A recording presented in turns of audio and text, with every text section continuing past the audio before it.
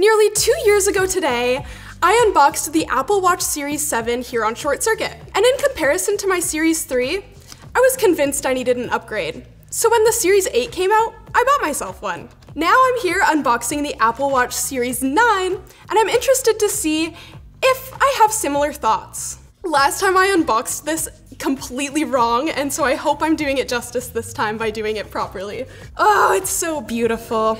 So for Series 9, they've released the traditional aluminum cases in uh, colors that we've seen before, midnight, starlight, silver, and red, but a new addition is the pink color, which I have here. They also offer stainless steel options. Wow, I do really like this sort of baby pink. It's similar to the iPhone 15, which I recently unboxed here on Short Circuit as well. Something cool to mention is that when you buy the aluminum case and the Sport Loop band, these are carbon neutral, which is, in my opinion, quite a big step for Apple. My only gripe, however, is this is the only combination that is carbon neutral. Aside from that, if you get a different case type or a different band type, it won't be. I love these Sport Loop bands too. And we also have the new braided cable, but this one is USB-C, similar to the Series 7 and 8. It's so nice seeing packaging that's entirely paper. That's something that we try to do here within Creator Warehouse, and it's cool seeing a lot larger companies also kind of following that trend. Although paper isn't necessarily good for the environment either, it is better than plastic, so. I'll try not to hit the TV this time. I hit it every time. Before I pair this with an iPhone, let me pair you with our sponsor, Bandwerk. Thank you to Bandwerk for sponsoring this video. Bandwerk makes Apple accessories that strive to be more than just a buzzword, like premium or luxury. They source their leather from tanneries in the US and Italy, and their watch bands are made in Germany. Since Bandwerk began in 2015, they have always put quality first in their products, refusing to cut corners. And they offer different customization options for their products. Check out the link below and use code SHORT23 to get a one ounce leather balm for free. I swear every time I like unbox an Apple Watch, uh, it's always like a different style band. Set up as a new Apple Watch. Continue. Let's try this again. Last time I had the exact same issue and we ended up having to use Jono's phone to pair it. It's just always chaos with me. I don't understand. Yay! It's connected. I would love to see one day somebody like walking around with two Apple Watches on their wrist. So the first thing to note is the display. The display is 2000 nits, which in comparison to the 1000 nits of the 8, it's quite the upgrade. For something like answering and reading messages when you're out in the sun, maybe at the beach, or just out and about in the summertime, I think that improvement can make a huge difference. However, with that said, similarly to its predecessors, this series has a 326 pixel per inch display. A look over the body, we have the digital crown similar to the previous models, which takes you to your applications, and if you double tap the digital crown, it will take you to your recently used apps. Obviously, I haven't used any, so there are none here, but once you're getting to know your Apple Watch, this is super convenient. We also have the side button, which takes you to your control center, or if you press and hold, it will take you to the emergency and the on and off. The Series 9 has an S9 dual-core CPU with 5.6 billion transistors. That is 60% more than the Series 8. Along with this, they've also upgraded the neural processing engine to have 4 cores instead of 2, which we saw with the previous model. With this upgrade, we've seen new benefits. For example, Siri has been improved to be on device. This is super awesome when it comes to things like setting alarms or taking notes. Uh, anything where you don't need to connect to the internet or have cellular service, she can do. Let's try it. Set an alarm for 5.30 p.m. Done. Make a note to tell me I need to grab cheese when I get groceries. Sorry, I can't help you with notes on Apple Watch. She knew though. Let me redact that statement. It doesn't work for notes. It does work for, oh, and starting workouts. What if I'm going to yoga? Start yoga workout. Starting your workout. Beautiful.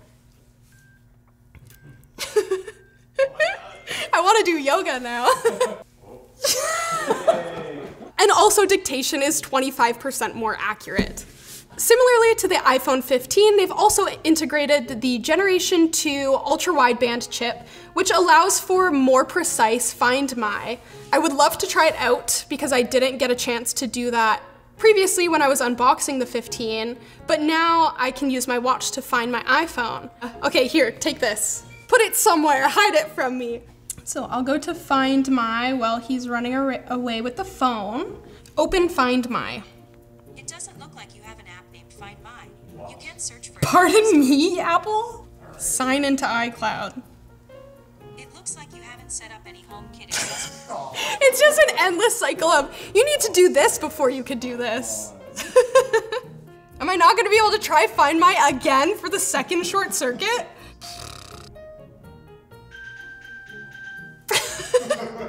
oh, there, okay, let's, let's go. I'm just stupid.